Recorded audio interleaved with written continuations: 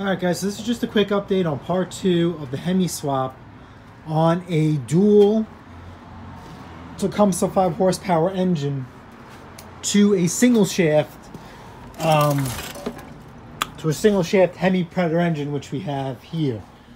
Seeing them give you a quick thing um, to elaborate, I actually ended up pulling it all apart again so um, I could weld the bracket for some extra reinsurance Nothing crazy, just a Lincoln Electric Handy MIG.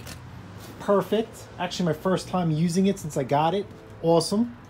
Okay, so here is originally your gear linkage shifter here, right? It sits like this here.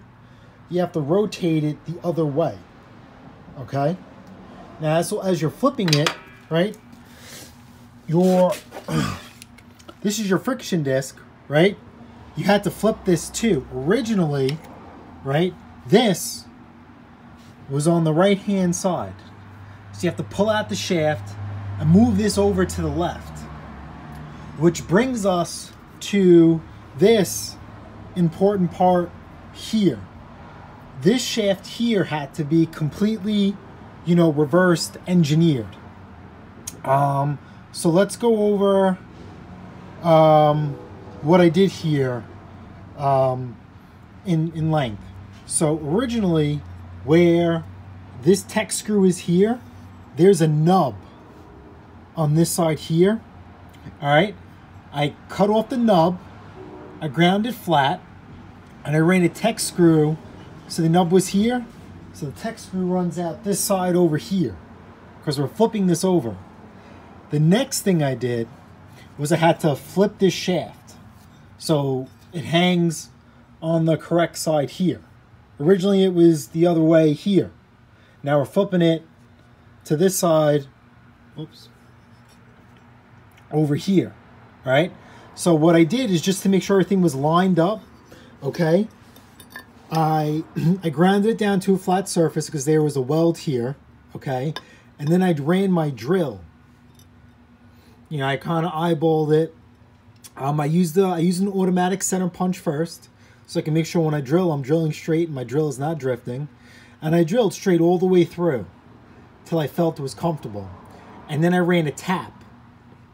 I tapped the middle of the shaft, and so I knew that the shaft would hold, and that when I put it back in, when I flip it, that it's going to be perfectly aligned. So once I tapped it and I was able to get a good tap and the bolt held really, really well, I put a bolt down there and I used some washers to hold it straight and I tested my, my theory. Put everything back, Sheena ran great. so then I took it back out. I cut this shaft off.